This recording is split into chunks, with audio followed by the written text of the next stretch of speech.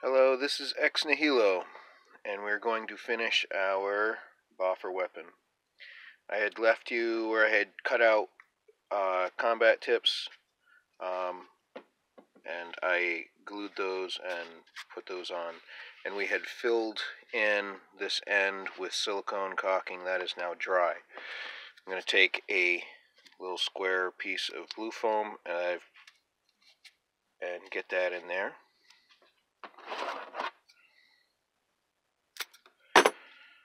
And our tip is now complete. And now I have give in the tip, but I have protection from the silicone because uh, the silicone can get hard. Um, I've contact cemented all of uh, this and I've contacted and cemented a EVA foam ring. Now do you see how I've put the seam together? Um, you can certainly put a seam together end to end, but getting the cut proper and correct is very difficult to get it perfect. And it actually increases the amount of stress on the joint. If you put an end together like this, oftentimes you can round this out so that it doesn't show any difference. So that's what we're going to do here. As you can see, there's a little space back there, but that doesn't matter. But we'll eventually round and cut this off. In fact, I think we will do a rough cut right now.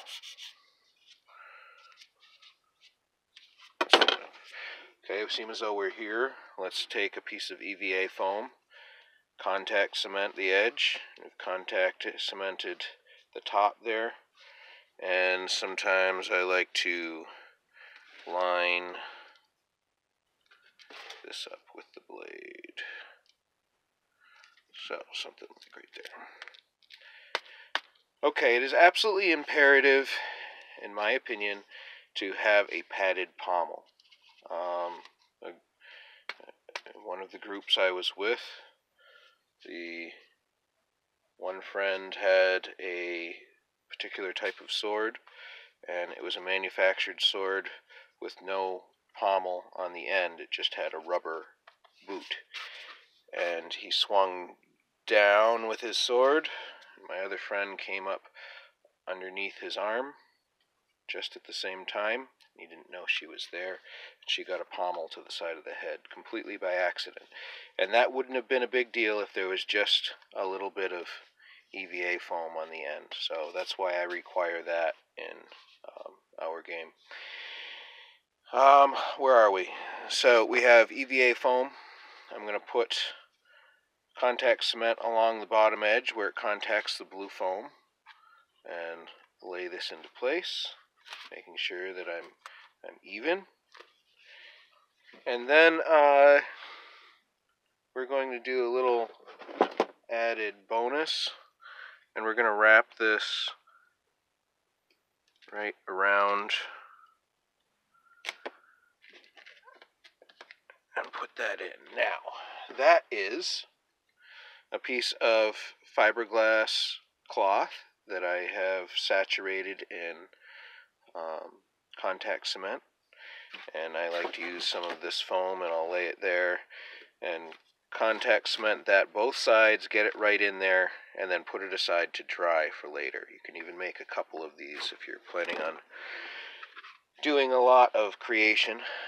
Um, so make sure that gets pushed in there nice and well.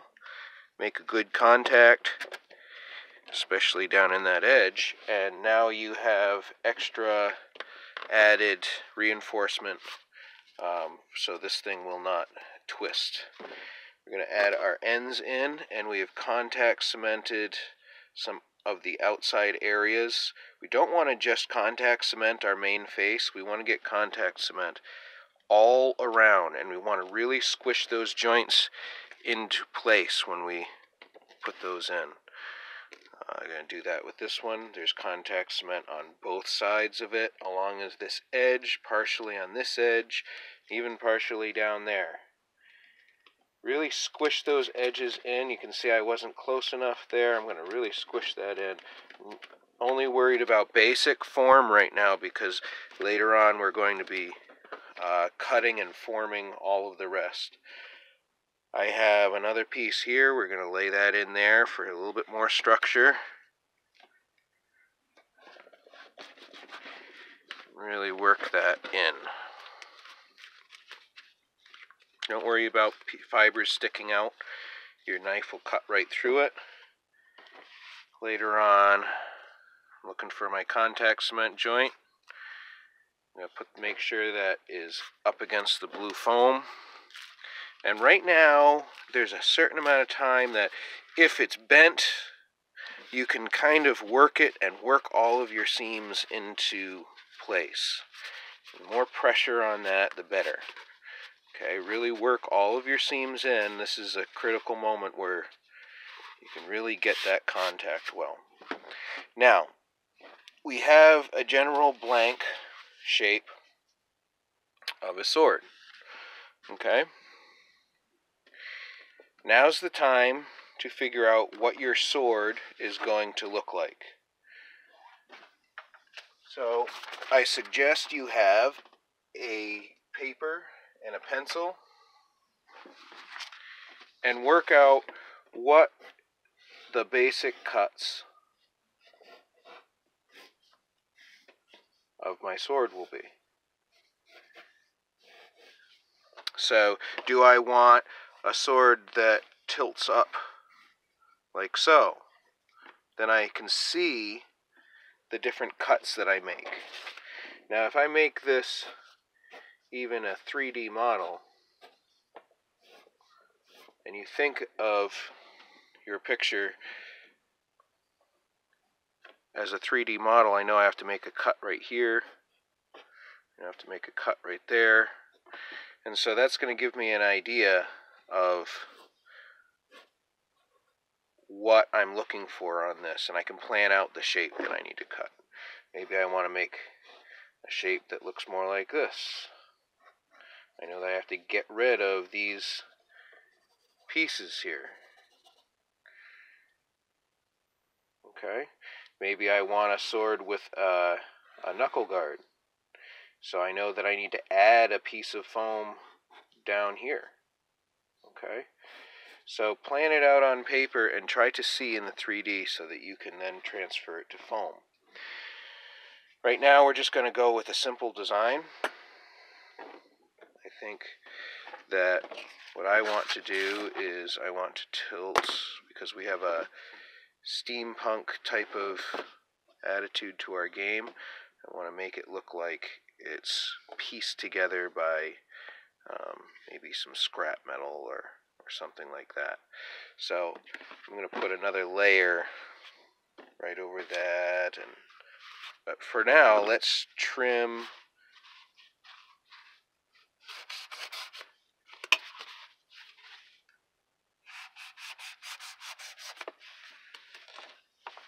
And our pommel, it depends on what we want. I kind of like this sectional piece because when it's spray foamed, it will look kind of like a bolt. But just uh, to show you how I would uh, finish off in order to make a round pommel, we'll do something like that.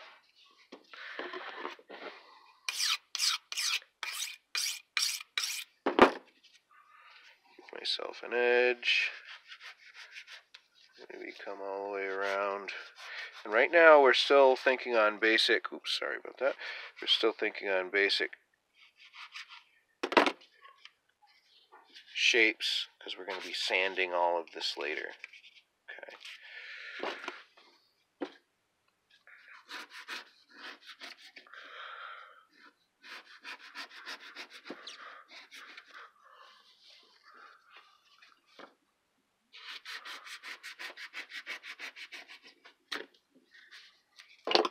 Okay.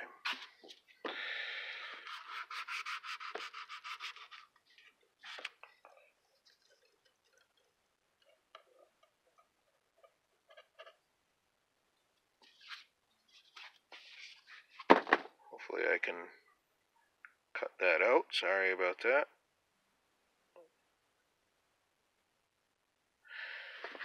Alright, so now I can make my shapes. Right, come into here. This brings me to another point. At the base of my weapon, I say about six inches from the base of my crossguard. I tend to allow some cutouts for maybe some added decoration. Um, I'm going to do something like this. When we make our design on our sword, whether or not we followed our paper, we want to really trace out the lines that we want to cut. Okay. So maybe I'll do something like that. Maybe I will set up for a knuckle guard in the future. Just do something funky so that uh, you can see how we do it. Alright. Now, I might use this. I don't really like these knives quite so much. So I'm going to go back to my normal method and use my saw.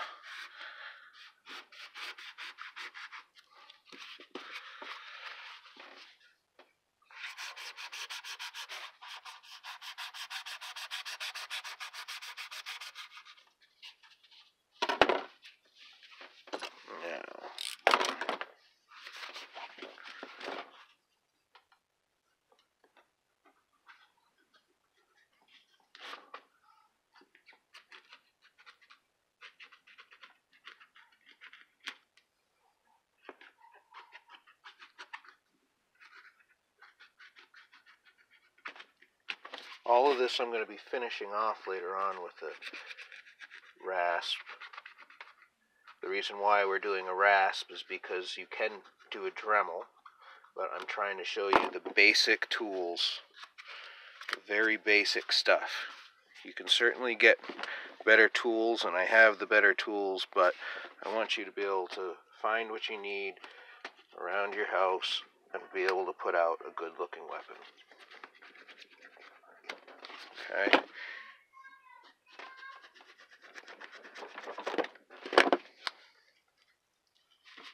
Notice I can't break that because I have fiberglass in there.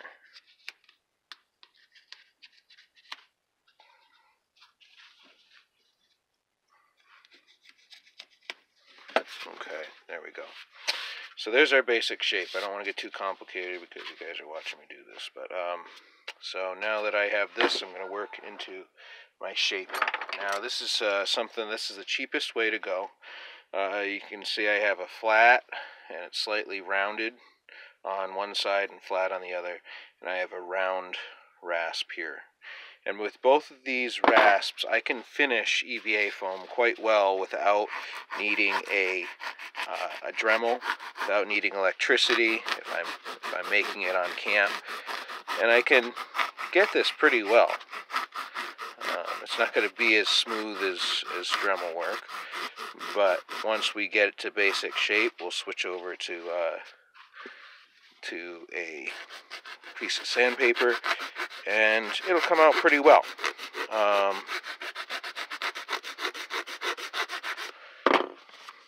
and the rest of it